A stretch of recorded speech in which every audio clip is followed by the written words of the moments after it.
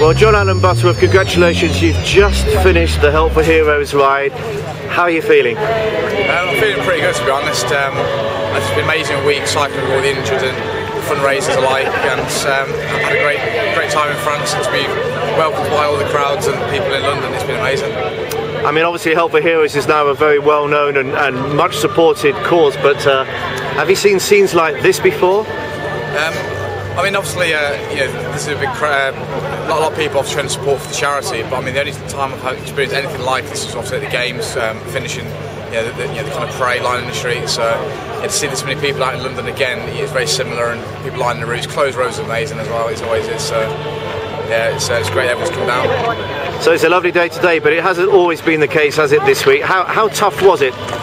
Um, yeah, I think most people found the weather conditions probably more challenging than on the routes. You know, we had headwinds, you know, prevailing winds, kind of easterly winds, winds of all kinds, as well as obviously heavy rain, and it's kind of quite bitterly cold. It only warmed up towards the end of the week, um, and we've had the best weather in the UK, funny or not, and you, you know, kind of signed up to go away somewhere warm, and it wasn't the case. So, you know, it's been tough, but um, you know, it's been enjoyable still, and some of the best days when it rains as well. And for those who don't know your story, obviously you were a serving soldier, weren't you? Um, injured and then a Paralympian. Perhaps you could very briefly tell us your story.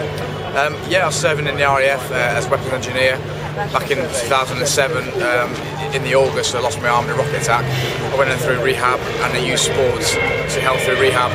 I then got selected for the talent team and then uh, for cycling, and um, yeah, the rest is history, as Sonny say. And I kind of um, went to the games and won three silver medals in the games and been double world champion and Brit records along the way. So you know, it's been an event for four years since I started cycling. It's certainly been, and uh, you must have made a lot of friends in the last few days. Um, yeah, it's uh, you know, amount of new people we've met, and you know, it's amazing how you know new people can just get along and you common interests. So um, yeah, it's been great. Hopefully, stay friends for long, you know, much longer after this week. So. Well, many congratulations and uh, the best of luck. All right, cheers, thank you.